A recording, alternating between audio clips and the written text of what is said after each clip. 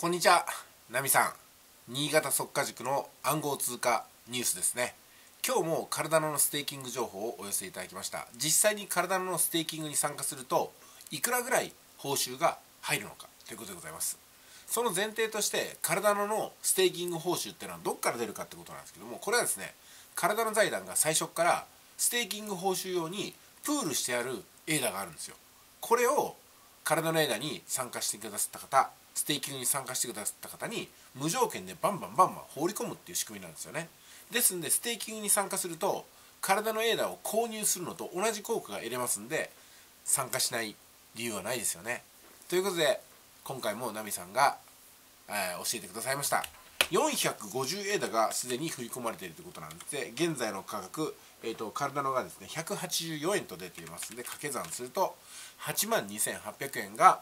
ステーキングに参加してるよっていうだけでね振り込まれてきたっていうことでございます。このカルダノステーキングの報酬は5日ごとに入金されてましてそしてエポックというものがねカウンターが回ってあと4日と20時間ですよとかあと 3, 3日と10時間ですよみたいな感じでカウントダウンされるわけですよ、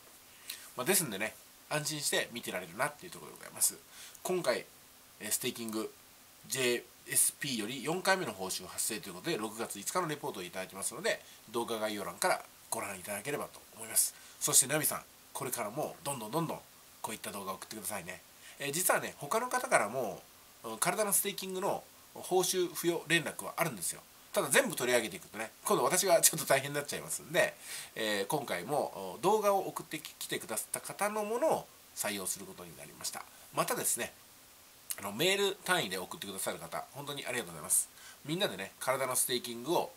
いただくということはカルダノステーキングの保有量出来高が世の中で増えていくってことなんでこれがまた価格を押し上げることにもなりますしそういった盛り上がりを見てねあ自分もカルダノエーダ買ってみようかなって方が参加するとますますカルダノエーダが強固でものすごくね培われたものになりますので体の枝の仲間どんどん増えてほしいなと思っております。あなたも体の枝買ってみてください。1枝184円から買えます。ただ国内で買えないんでちょっと国外のねあの取引所扱うことになりますけどね。えー、まあ、そういったこともこういった放送でね今回の私のサポートであ放送でサポートできればと思いますので今後ともよろしくお願いします。ありがとうございました。